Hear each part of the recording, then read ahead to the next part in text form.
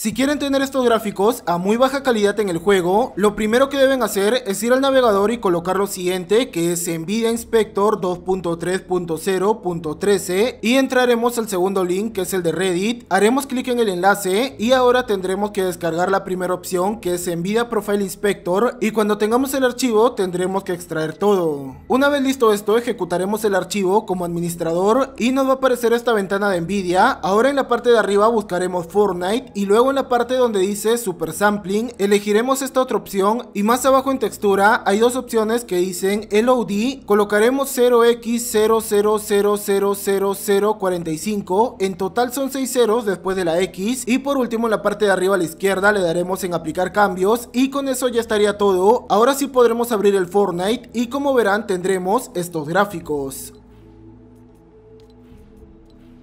Y esto no solo va a funcionar con las skins, porque lo mismo pasará con las mochilas y también con las alas delta y cualquier otro objeto que tengan en la taquilla.